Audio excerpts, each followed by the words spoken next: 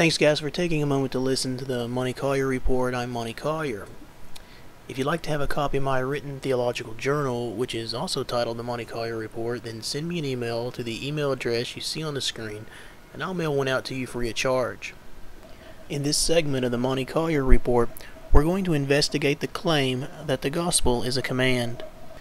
The claim is being made by some people who profess to be reformed, and so this matter requires our immediate attention unless we allow them to mislead people.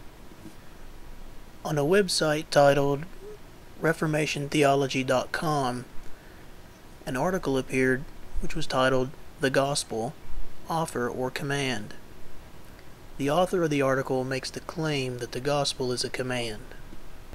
In a comment section linked to the article, individuals supporting the website uh, reinforce the idea that the gospel is a command.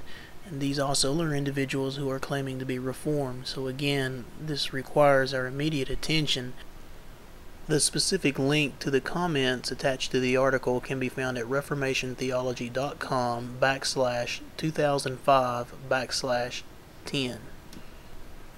So the points I'm going to make about this article, the claim that the gospel is a command, the points I'm going to make are very simple, they're very clear, easy to understand, but they're very critical.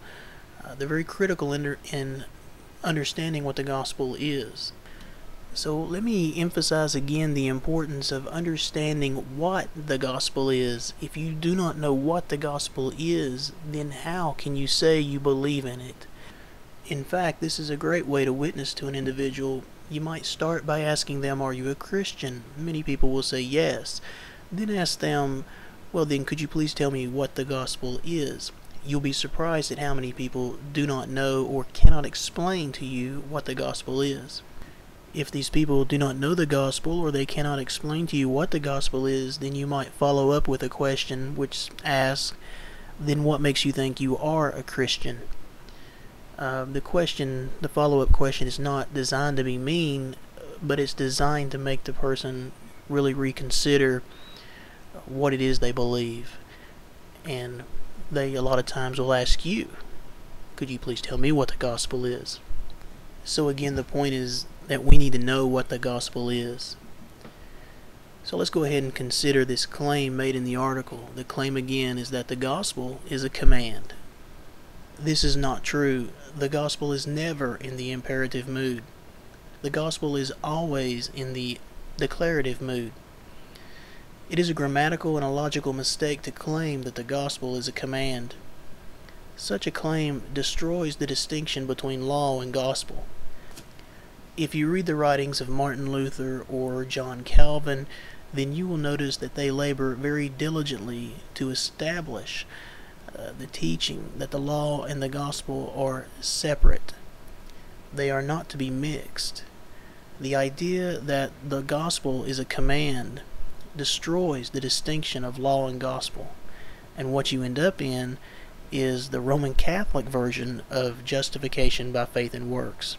So, the danger of this teaching, the teaching that the law and the gospel are the same, or the teaching that the gospel is a law or a command, the danger is that it leads to Roman Catholicism, and so this is why we must address this immediately.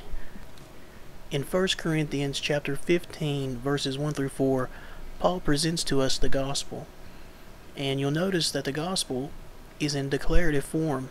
It's in declarative form because the gospel is propositional. Let's read this passage of scripture. Moreover, brethren, I declare unto you the gospel which I preached unto you, which also ye have received, and wherein ye stand, by which also ye are saved, if ye keep in memory what I preached unto you, unless ye have believed in vain. For I delivered unto you first of all that which I also received, how that Christ died for our sins according to the Scriptures, and that he was buried, and that he rose again the third day according to the Scriptures 1 Corinthians chapter 15 verses 1 through 4. Notice in the very first verse of this chapter in Corinthians, Paul says clearly, he says, I declare unto you the gospel. You see, the gospel is good news, and news is always declarative. News is always presented in declarative statements. The gospel is simply not imperative. It is by understanding and believing the propositions of the gospel that we are saved. Commands, by definition, are not propositions.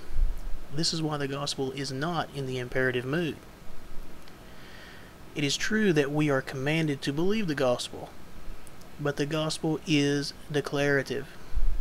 It is a series of propositions. It is not a command. Gentlemen, let us remember that Calvinism is the logical, grammatical, contextual, and literal interpretation of the Bible alone.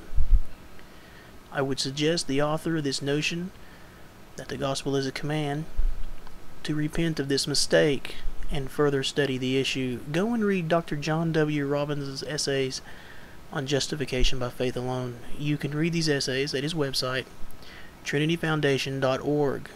They are excellent. You can find them in his archive. He's got a little button that says essays. Click on that and read the essays. Alright, thank you a lot, and I hope this helps you guys out.